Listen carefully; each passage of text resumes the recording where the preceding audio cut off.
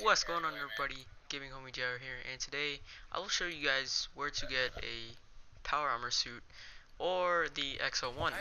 Now don't don't get mad at me in the comments if it's not an X01 because there is a chance that it might not be an X01 but um I think there is you, there's like a certain level where you have to like I think there's a certain level on where you where it does spawn an X01. I think you have to be around like level 30.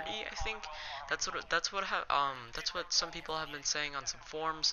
But bam, found an X01, and yeah, it's a it when I when I fully unlocked the terminal and um when I fully unlocked it it wasn't uh it wasn't like Mark Mark 1 or Mark 2 or anything like that. It's just a standard X01.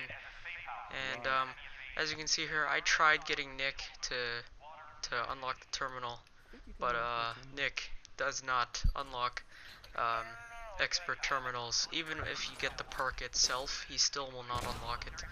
So uh yeah guys, uh, this place is the South Boston checkpoint I showed it on the map earlier before I, well, when I started the commentary. So yeah, um, this is just a location where to get the X01 power armor.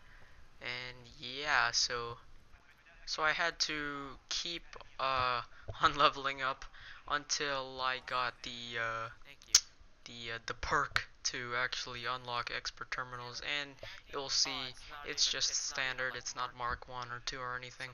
But um yeah guys so this is where you do find the X01 power armor suit.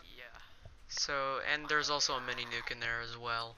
But uh thank you guys for watching and peace out. Uh, stay tuned for more Fallout 4 videos on like rare weapons and stuff like that. So uh, yeah later guys